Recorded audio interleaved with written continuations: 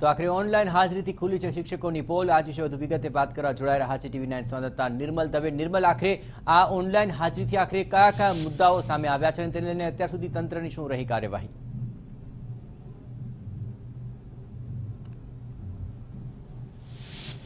જે શિક્ષણ તંત્ર ખાડે ગયું હોય તેની પાછળનું એક કારણ એવું પણ છે કે શિક્ષકોની શાળામાં સતત જોવા મળતી ગેરહાજરી.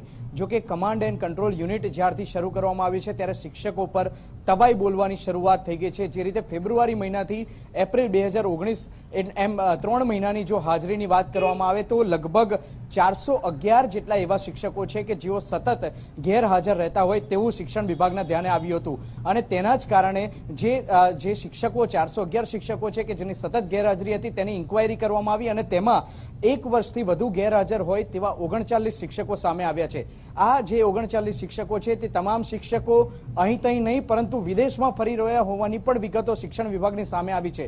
જિલ્લા પ્રાથમિક શિક્ષણાધિકારી કે જેઓ આ શિક્ષકોની નિમણૂક કરી રહ્યા છે, તેઓની સામે પણ સવાલ ઉપસ્થિત થયા છે કે આખરે તેમણે આવા શિક્ષકોની નિમણૂક કેમ કરી કે જેઓ પોતાના જે ઉપરી અધિકારી છે કે તેમને જ જાણ કર્યા વગર જ બહાર જતા રહે છે, હાજ- ગેરહાજર રહે છે અને તેના જ કારણે બાળકોને જે ભવિષ્ય છે તેની સામે સવાલ ઊભા થાય છે. એટલે આ કારણોસર જે તે જિલ્લા શિક્ષણ, જિલ્લા પ્રાથમિક શિક્ષણાધિકારી છે તેમનો તો ઉધડો લેવામાં આવ્યો છે, પરંતુ ઓગણચાલીસ જેટલા શિક્ષકો એવા છે કે જેમને કાયમી ધોરણે ડિસમિસ કરી દેવામાં આવ્યા છે. બીજી તરફ વાત કરવામાં આવે તો એકસો શિક્ષકો એવા પણ છે કે જેમની સામે હાલ કાર્યવાહી ચાલુ રહી છે. આ તમામ શિક્ષકો ગેરહાજર કેમ રહ્યા હતા તે અંગેના કારણોની તમને પૂછપરછ કરવામાં આવી રહી છે, કેમ કે તેઓ જે પોતાના ઉપરી ઉપરી અધિકારી છે, જિલ્લા પ્રાથમિક શિક્ષણ અધિકારી તેમને તો કોઈ પણ પ્રકારની જાણ નથી કરી. આગોતરી જે જાણ કરવી પડે, રજાની મંજૂરી લેવી પડે, તે કોઈ પણ પ્રકારની મંજૂરી લેવામાં નથી આવી. એટલે એકસો શિક્ષકોની હાલ ઇન્કવાયરી ચાલી રહી છે. શિક્ષણ વિભાગની રડારમાં આ ચારસો શિક્ષકો આવી ગયા છે કે જેમની સામે અત્યારે ઇન્કવાયરી ચાલી રહી છે.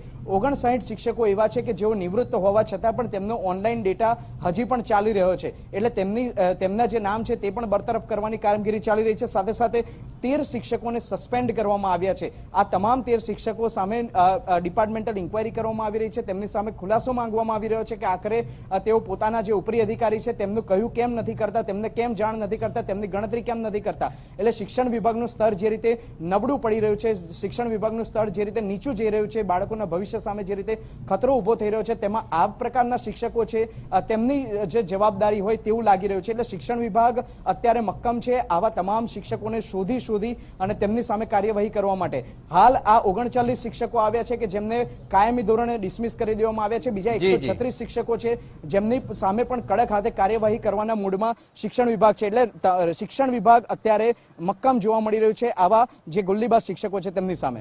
બિલકુલ આભાર. નિર્મલ તો નિર્મલ જણાવી રીતે પ્રમાણે ગુલ્લીબાલ શિક્ષકોની હવે ખેર નથી, કારણ કે જે ઓનલાઈન હાજરી પુરાઈ રહી છે તેને લઈને શિક્ષકોમાં ચાલતી જે લાલિયાવાળી છે તે સામે આવી ચૂકી છે અને તેવા તમામ શિક્ષકો સામે બરતરફની કાર્યવાહી સરકારે હાથ ધરી છે.